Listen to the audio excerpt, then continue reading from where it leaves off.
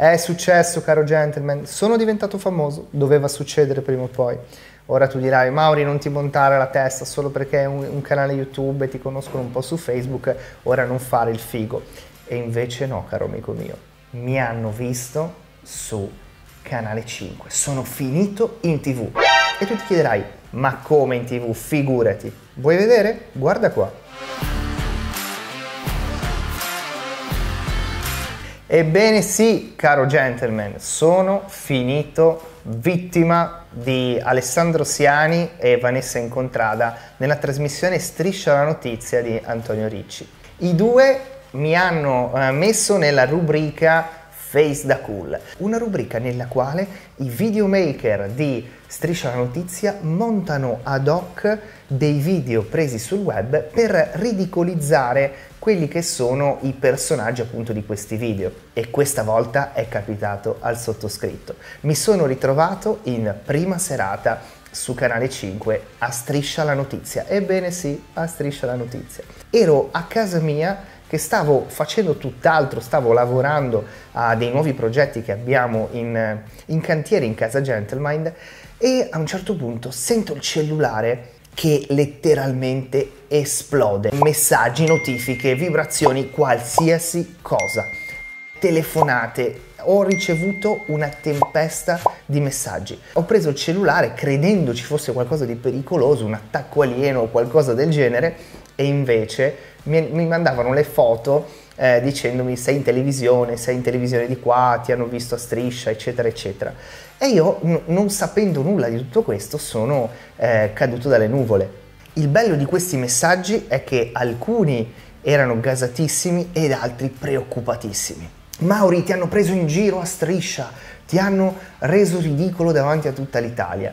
E io ho pensato a uh, quello che è il mio, il mio lavoro, quello che faccio tutti i giorni e uh, ho ragionato su che cosa pote- potessero aver mai trovato di così compromettente sul mio lavoro. Dopotutto faccio il mio lavoro con grande etica e con grande professionalità e ho scoperto che eh, di fatto hanno preso una mia sponsorizzata, l'hanno montata prendendo dei punti in cui faccio un po' ovviamente un po' lo sbruffone per attirare l'attenzione perché chi mi conosce e mi segue sa perfettamente che non sono assolutamente così e di fatto quando faccio quel tipo di pubblicità lo faccio per attirare l'attenzione e prendere in giro un certo tipo di, eh, di guru eh, della seduzione che si credono dei super uomini. Chi mi conosce e mi segue da un po' sa che sono il primo che si prende in giro, che fa il pirla eh, in ogni situazione e in ogni modo possibile, mostrando la verità nient'altro, e nient'altro che la verità.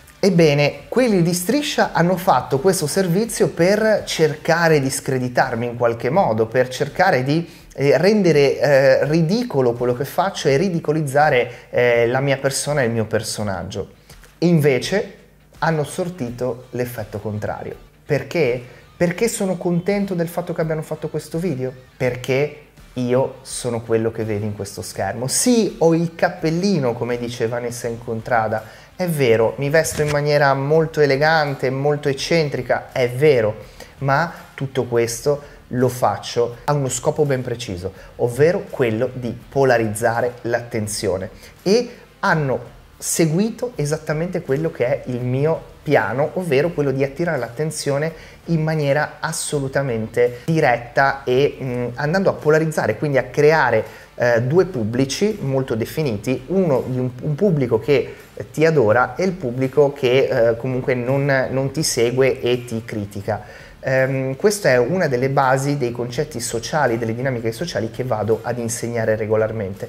E hanno fatto esattamente il mio gioco perché io sono felice di creare questa sensazione negli altri e soprattutto voglio attirare l'attenzione in modo che le persone si informino sul mio conto e capiscano davvero chi sono e capiscano effettivamente che cosa facciamo noi di Gentlemind e quanta etica, quanto duro lavoro e quanto amore mettiamo nel nostro lavoro. Quindi rispondo a tutte quelle persone che erano preoccupate dal possibile danno d'immagine che questo, eh, che questo diciamo, servizio che ho trovato ehm, anche, anche, poco sensato perché di fatto eh, hanno, mi hanno solo preso in giro, non sono entrati giustamente nel merito di quello che dico perché non avrebbero avuto appigli. Io e tutto il mio staff facciamo il nostro lavoro con grande etica, non promettiamo cose impossibili, facciamo quello che c'è da fare per aiutare le persone e dare il meglio ai nostri corsisti.